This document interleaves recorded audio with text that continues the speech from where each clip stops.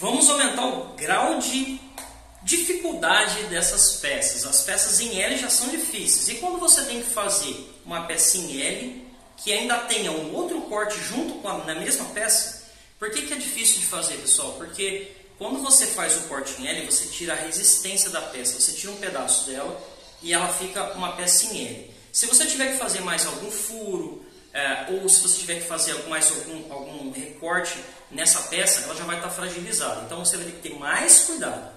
Nesse primeiro caso, por exemplo, nós fizemos a marcação de uma peça em L e nessa peça também tinha uma caixa de luz. Então a gente fez também um corte quadrado na caixa de luz que já tinha um L.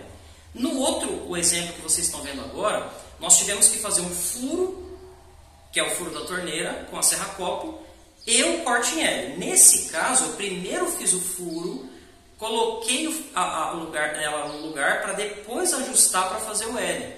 Porque se eu fizesse o furo com a serra-copo na peça em L, ele poderia provavelmente quebrar. Então, nesse caso, primeiro eu furei, depois eu fiz o corte em L. Então, o que eu quero passar para vocês nessa aula? Vão ter peças que vocês vão ter grau de dificuldades maior porque vão ter mais de uma coisa para fazer na peça.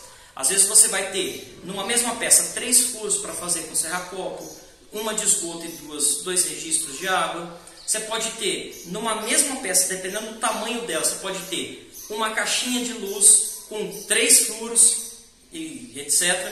Você pode fazer uma pecinha L que tenha que fazer um encaixe, de repente, numa caixa de luz como a minha, ou até em mais de uma, de repente uma peça ela pega um L da janela com mais duas caixas de luz. Então tudo isso, pessoal, aumenta o grau de dificuldade. Sempre que você for fazer uma peça em L ou em U, ou seja, uma peça que você já tire a resistência interna dela e você tem que fazer mais alguma coisa, tome muito cuidado e sempre faça a, o, o, furo primeiro antes de, de tirar a resistência da peça. Se você conseguir fazer, é sempre melhor, porque quando você terminar o corte, já vai estar pronto só para você encaixar.